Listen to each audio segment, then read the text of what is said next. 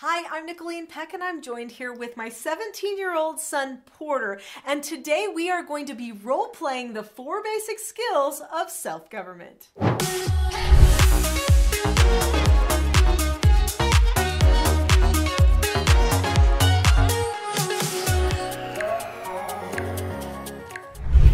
Video, we're going to talk a little bit about self government and what it is and why these four basic skills are so important. And then Porter and I are going to show you some role plays of what these four basic skills might look like.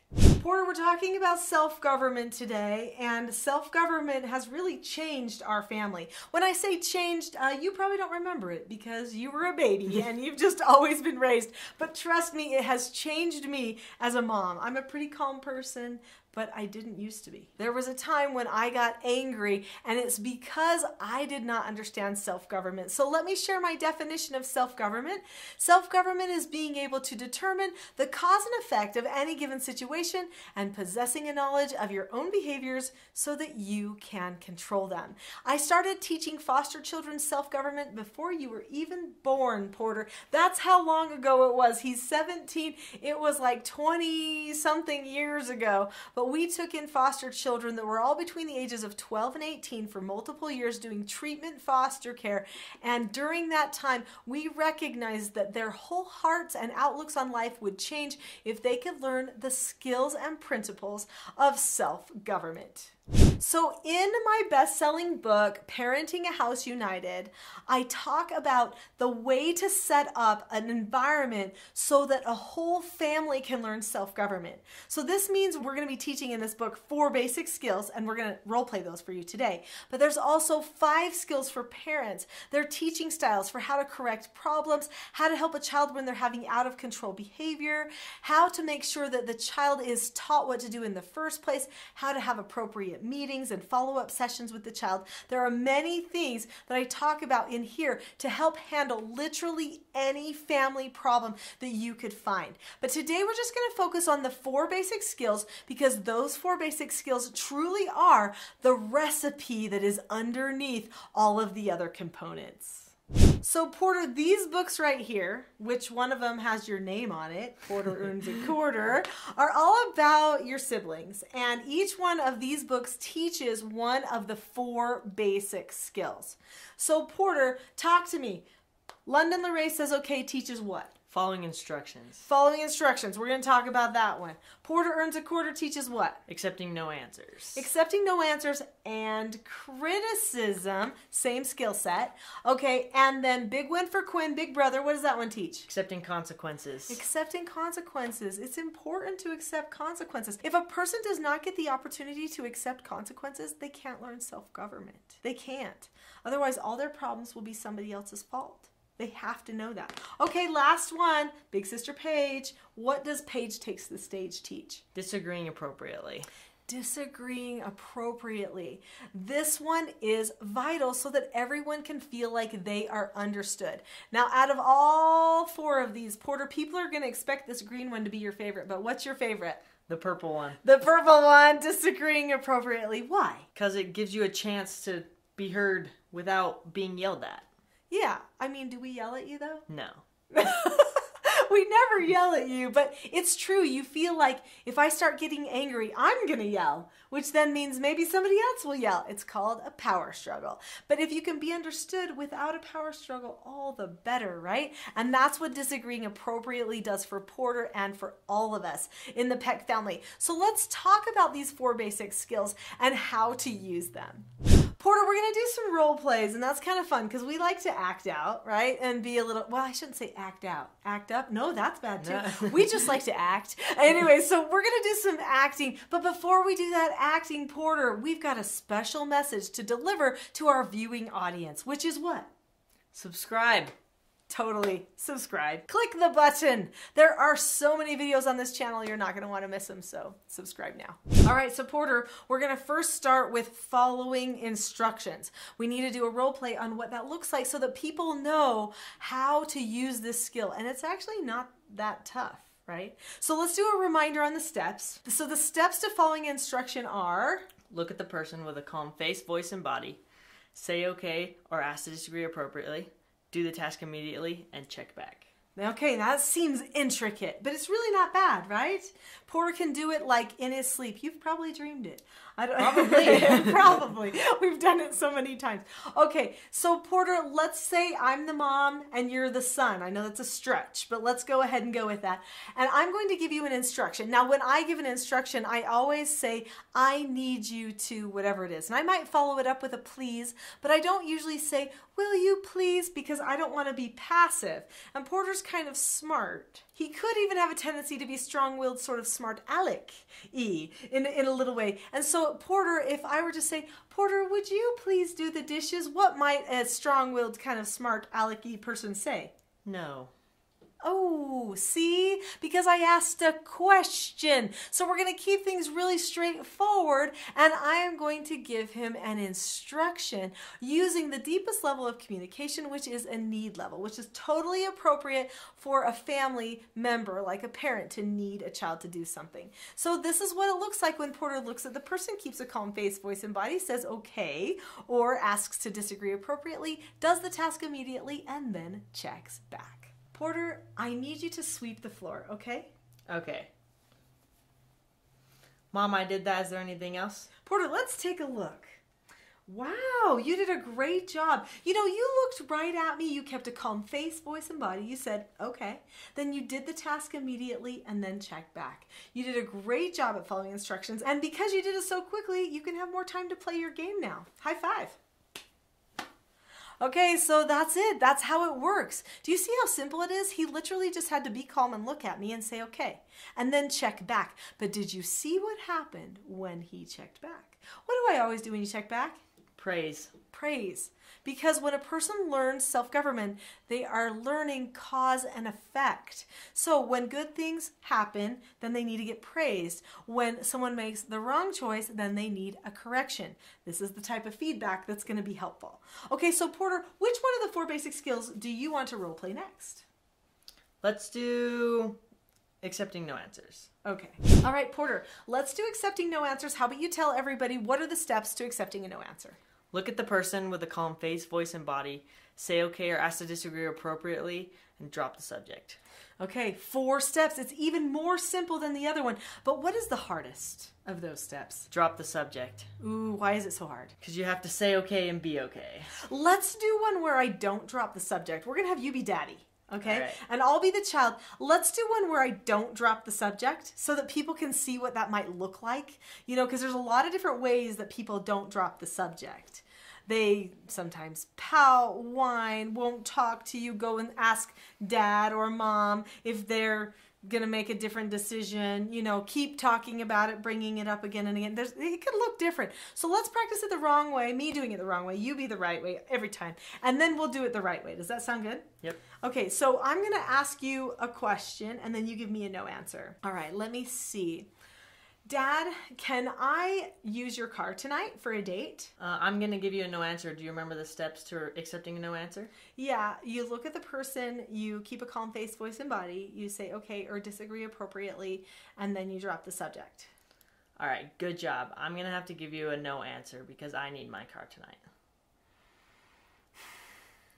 Okay, Nicholeen, just now. Oh, wait, Porter, you're going to correct me? You are awesome. Okay, I'm going to stop him at the beginning of that correction. So Porter knows exactly what to do. He knows exactly the words that I will say every single time. He has lived with this since he was born. He knows this. He can teach this. It's so good. But you see that he knew exactly I did not do it. Even if I was going to go walk away, he knows that's not okay. We're not going to leave an interaction not calm like that and not dropping the subject. So now let's do it the right way. Hey, Dad, can I use your car tonight? I'm gonna give you a no answer. Do you remember the steps to accepting a no answer? Yeah, you look at the person, you keep a calm face, voice, and body, you say okay or ask to disagree appropriately, and then you drop the subject. Great job. I'm gonna. The, the answer is no. You can't use my car tonight. I need it. Okay. Great job.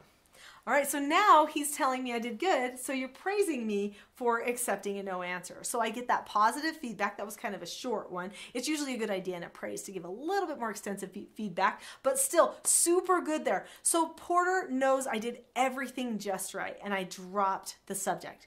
Porter, I feel like there's another skill we could use right now in our role plays that would give me a little bit more of a voice because people might be wondering, like, well, but what if she really needs it for something important. Does she just have to say okay? And the answer is no, I can say okay or disagree appropriately. Disagree appropriately. So let's talk about disagree appropriately.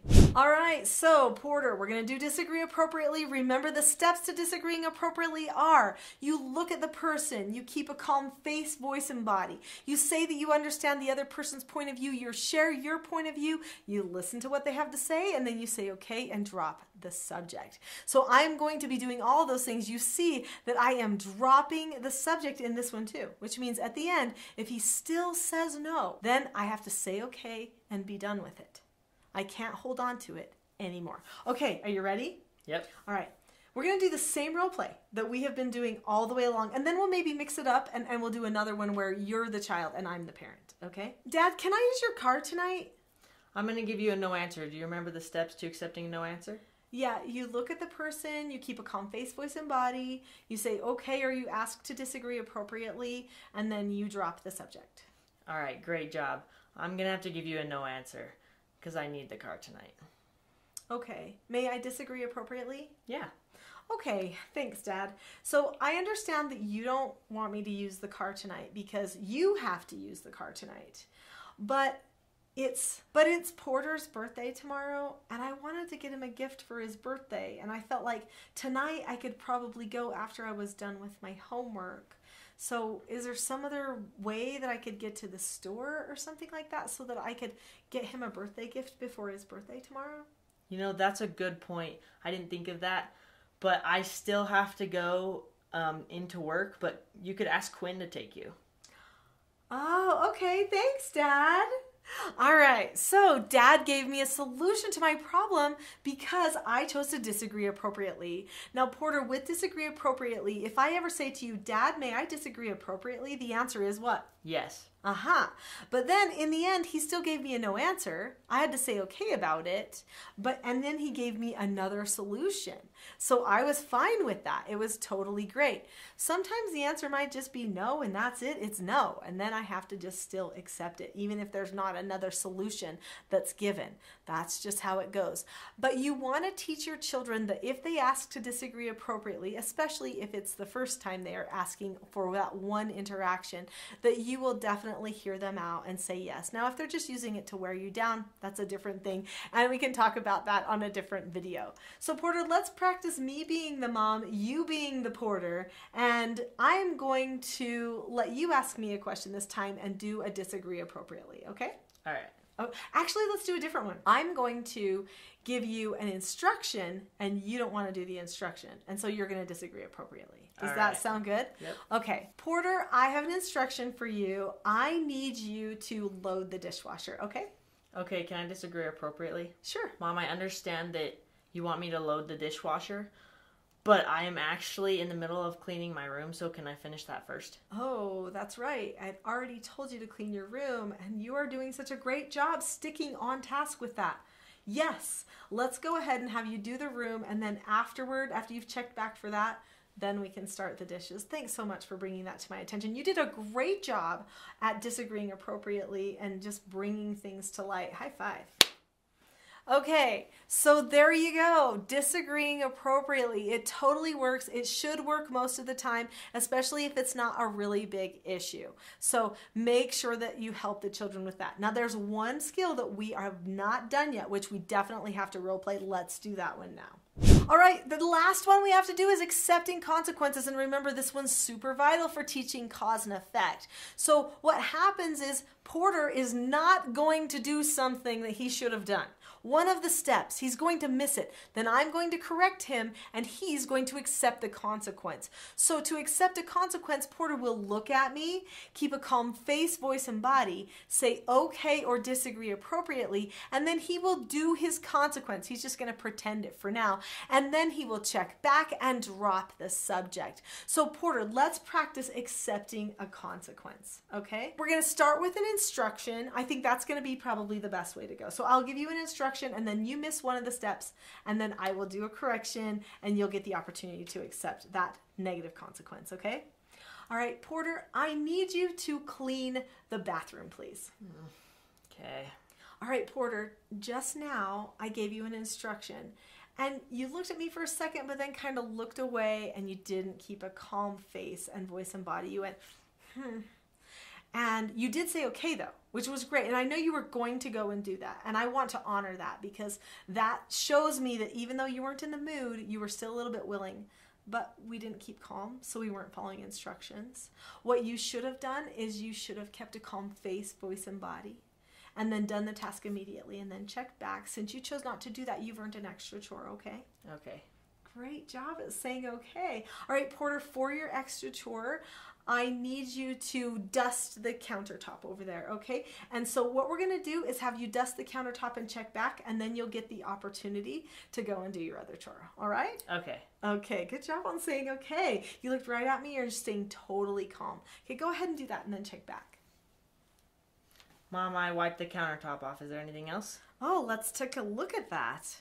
That looks really great. You didn't miss a spot. I got to tell you, Porter, I know that your heart is in the right place because you have maintained calm this whole time of accepting the correction. You did a great job of following through with your extra chore and checking back. I think we're going to do a few practices on following instructions and then you can go ahead and do your original chore, okay? Okay. Okay. Now, we're not going to do those practices in front of you because that takes a little bit more time, but just know that part of a good correction is doing those practices. Porter Porter and I have been working at these skills since Porter was born, and I've got to tell you, it's made a difference in his life. Porter, is there anything that you want to tell anybody about how these skills have impacted you? They've made me a more calm person, a more confident person, and they've just really blessed my life. Yeah, they've united our family too in such a way that we can solve problems without having to be upset at each other or power struggling, which is super powerful.